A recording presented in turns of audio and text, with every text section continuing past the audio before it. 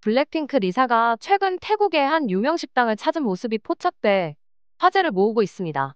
태국의 미쉐린 스타 셰프 제파이는 18일 인스타그램에 리사가 자신의 식당을 방문했다며 영상과 사진을 공개했는데요.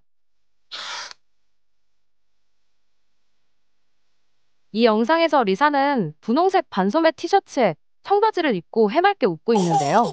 제파이는 리사에 대해 매력적이고 겸손하며 전염성 있는 미소를 지녔다고 적었죠. 리사는 제파이가 7년 연속으로 미쉐린 스타를 획득한 것을 축하하는 자리에 참석한 겁니다.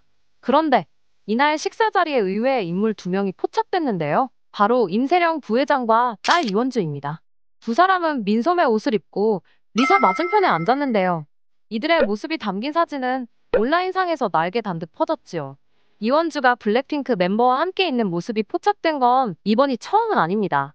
지난달 미국 LA에서 열렸던 어느 문화 행사에서 로제와 나란히 앉아 대화하는 영상이 소셜미디어에 올라오기도 했죠.